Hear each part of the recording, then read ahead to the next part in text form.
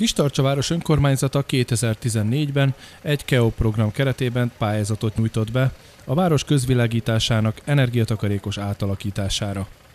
A pályázat sikeresnek bizonyult, így 2015. április 21-én a szakemberek megkezdték a lámpatestek cseréjét új, korszerű ledes fényforrásokra. Ismét egy olyan beruházásról beszéltünk, ahol a teljes összeget pályázaton sikerült elnyerni, tehát 100%-os támogatottságú. Összesen 96 millió forintból fog megvalósulni a beruházás, ezen értékben 1001 lámpatest kerül lecserélésre kis tartsa szerte.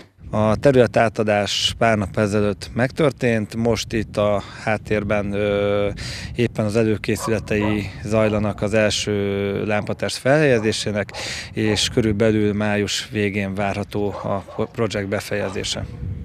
A meglévő lámpatestek már egy régebbi technológia, kevésbé energiahatékony, ráadásul korábbi sárgás, derengő fény helyett egy sokkal jobb láthatóságot tudunk ezzel elérni az éjszakai órákban, mind az autósoknak, mind a gyalogosoknak nagyobb biztonságot fognak tudni nyújtani.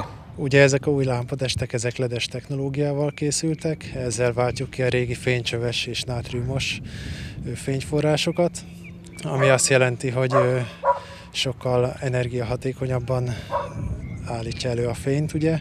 Körülbelül a számítások alapján a 63%-os energia megtakarítás várható. Ezekkel a ledes fényforrásokkal, lámpákkal. A fényerő az körülbelül ugyanannyi marad, esetleg kicsit javul, mint a régi állapotnál.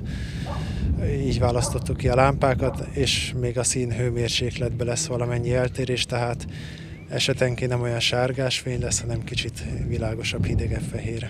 A munkavégzés igazából elég gyorsan történik, kosaros autóval felállunk, letalpalunk, és egy rövid fél óra alatt a lámpacsere az meg is történik, szóval semmilyen különösebb bontási vagy zajos munkálatokra nem kell számítani.